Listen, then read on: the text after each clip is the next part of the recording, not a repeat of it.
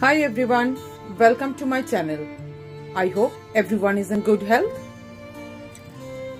Today I'm going to cook a famous Rajasthani dish which is called Laal Maas.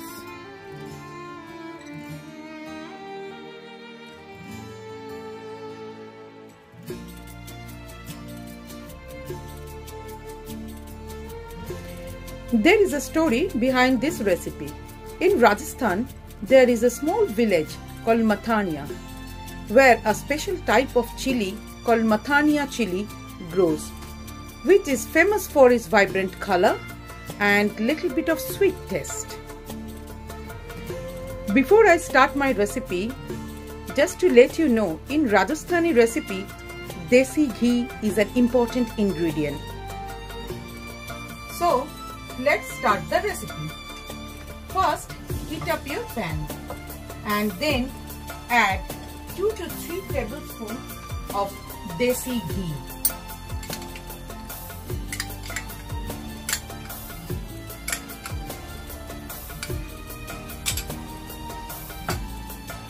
When the ghee is hot, add 2 to 3 green cardamom,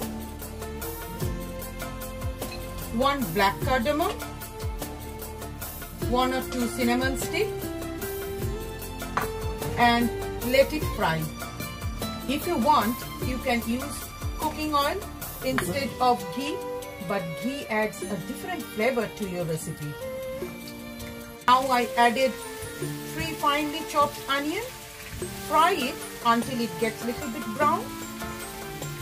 In the meantime, I will show you I just marinated the meat 2-3 hours before I start cooking and added 4 to 5 tablespoon of garlic paste and 2 tablespoon of ginger paste.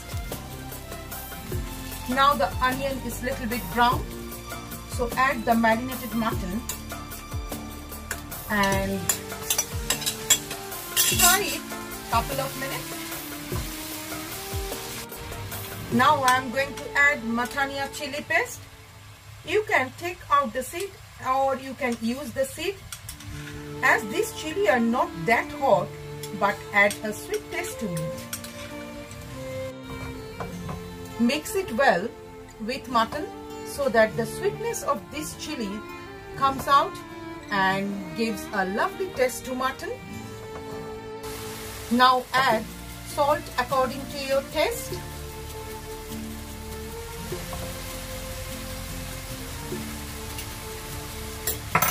Mix it well and let it fry around 5 minutes. In the meantime, take 2 tablespoons of yogurt, 1 teaspoon of cumin seed, I just make it powder, 1 teaspoon of coriander powder and little bit of red chili as the Mathania chili is not that hot mix it well with the yogurt all the spices and at the end use 1 teaspoon of mustard oil. Mustard oil makes the sharpness of the taste. Now mix this mixture into the pan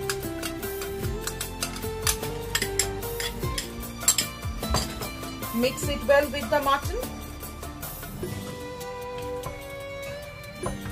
And cover it for 35 to 40 minutes in low heat so the mutton get cooked really well.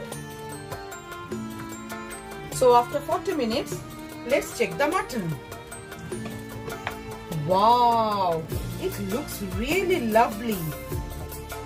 Now my Rajasthani laal maas is ready. Now my Rajasthani laal maas is ready to serve. Now if you like my recipe, please like, subscribe and share it. And that's Cooking with Jenny.